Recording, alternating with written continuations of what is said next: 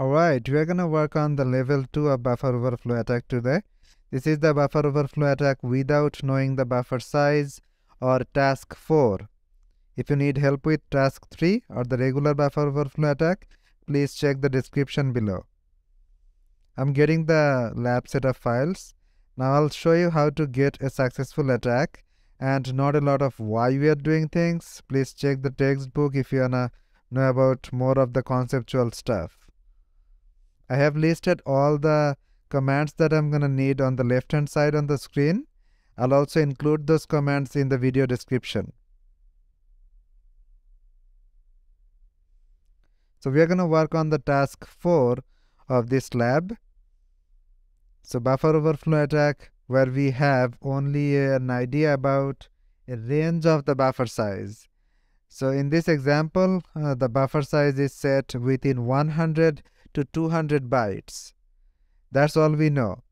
Now the upper limit is what you should pay attention to. So for us, this is 200 bytes. If your instructor has given you a different value, you'll have to change your numbers accordingly. I'll tell you how to do that. Alright, so I'm, ex I'm extracting the lab set of files and go inside code and open our terminal here.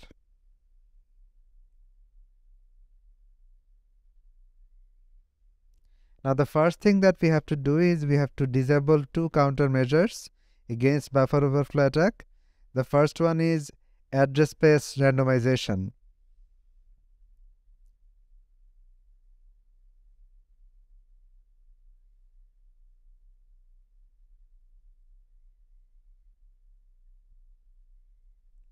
And the second command is used to link to the Z shell instead of the default bash or dash. All done. So we are done with disabling the countermeasure and we are ready to start working on the attack. Now these are the four files that we have by default within the lab set of files. We need to create an empty bad file first. So this is very important. Otherwise, if you try to run the debugger, your debugger will not work or produce incorrect results. So make sure you have an empty bad file in your directory. You can see the file size is 0. Now the next thing what we do is we run make and it will automatically generate all the executable files needed for the lab. So it generates file for all four levels because we are working on level 2. You can see we have the level 2 of that program and also the commands have already converted the program to a setuid file. So we don't need to basically do anything. Now again if your instructor has given you a different value you will need to make changes inside the make file. I'm using the default values here. So we'll start to run our debugger on the stack L2 dbg file.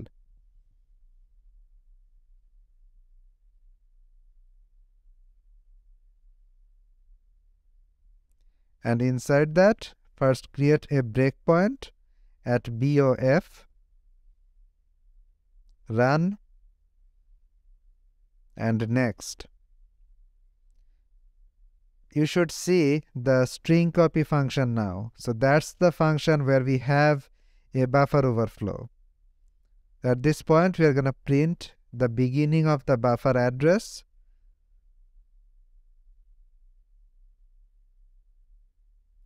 Now, like task 3 or the previous attack, do not print EBP because you are not supposed to know the EBP value. The only thing that we get from the debugger is the beginning of the buffer address. And we are ready to start constructing our exploit.py file or the bat file. Now at this point, our bat file is empty so we want to create our payload. So let's open our exploit.py file.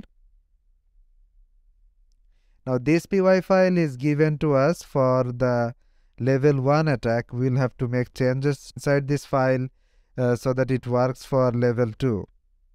Now as you can see we have to change the shellcode. You could get the shellcode from the lab instructions or you could get it from here. So if you go inside the shellcode directory and this C file, uh, there are two shell codes. The first one is for 64 bit and then the next one, this is for 32 bit. So we are going to copy the 32 bit version and then replace that within exploit.py. Awesome. Okay.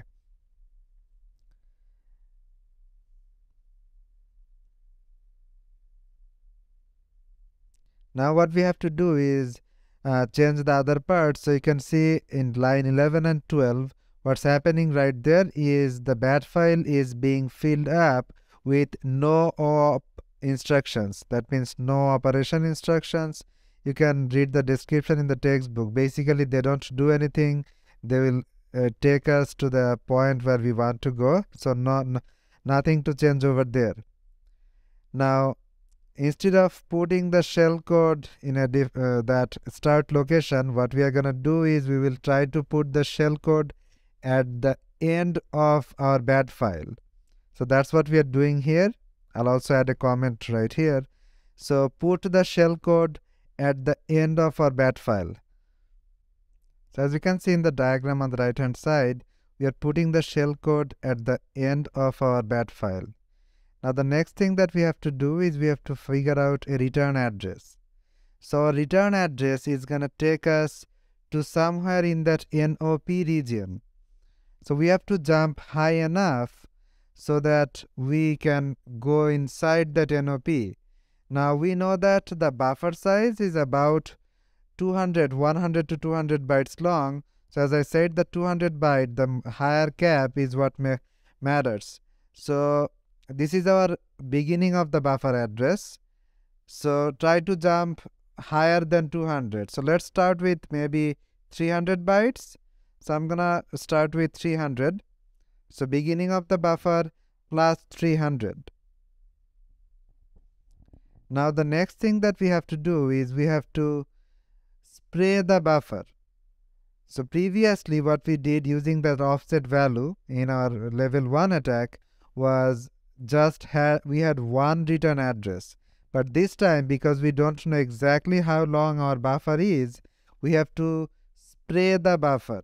That means we have to put the return address in many places so that at least one of those addresses is the actual return address. So that's what we do here. So we are going to create a for loop and spray the entire buffer with our return address now the range value because uh, we have been told that the buffer is between 100 and 200 byte. So 200 divided by 4 bytes which is uh, 4 bytes is each address is 4 bytes long for 32 bit.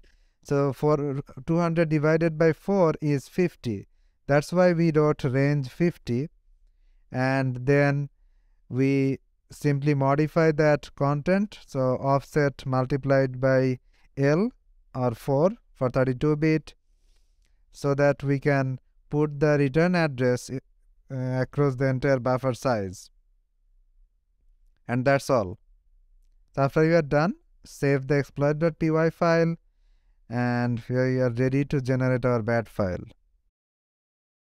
So dot slash exploit.py oh I missed a colon I see. Okay so let's go ahead and fix that issue so there should be a colon after the for loop. Save it. Alright, now let's check the files. Now as you can see, the bat file is now 517 bytes long. So let's try and see if the attack works. Oh, okay, so illegal instruction. So what that means is we haven't jumped high enough. So maybe we have like jumped somewhere below uh, the where we wanted to. So we maybe we can increase the return address to plus 400 so we want to be in that NOP region. Okay so let's try again. So create another bat file.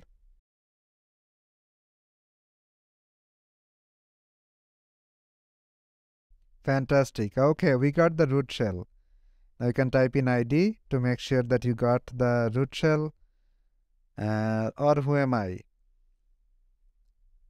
Now that's all for today. We have a successful attack. I'm gonna upload more seed lab based video.